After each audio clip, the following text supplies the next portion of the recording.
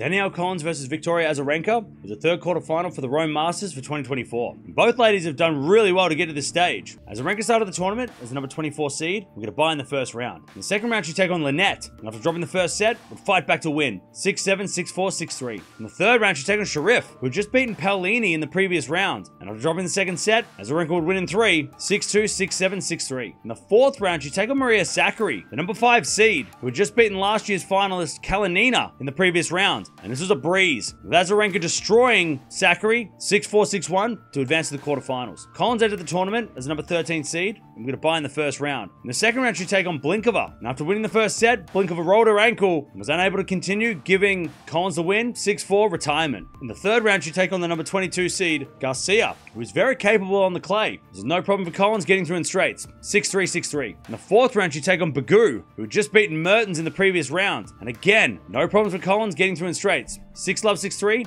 We've advanced to the quarterfinals. These two have only played twice before with this head-to-head split down the middle 1-1. They haven't played in over five years, last time being a win for Azarenka back in Acapulco in 2019. So, been a long time since these two played, and also, they haven't played on clay either. So, basically just this new matchup starting from scratch. If Azarenka's going to win this one, she needs to take the baseline away from Collins and make her run a little bit more because Collins loves to stand on the baseline, just hit winners. And if she's on the move, it's a little bit harder for her to do that. So, Azarenka's going to do that and also serve well if she's going to win this one. If Collins is going to win this one, she needs to take over that baseline and make Azarenka move. It's going to be a battle of the baselines on this one because both ladies love to control the baseline and try and hit winners. And Collins has also got to keep her emotions in check as well because sometimes she can get a little angry, especially when the crowd's involved. She's got to keep that out of her head. Really interesting matchup. Haven't played for such a long time, but they've been around for a long, long time as well. So it's going to be really fun, but I have to go with Collins in this one in a three set. I'll give Azarenka a set, but Collins is so good right now. And she's on fire in her final season. But let me know down in the comments below who's making the semis.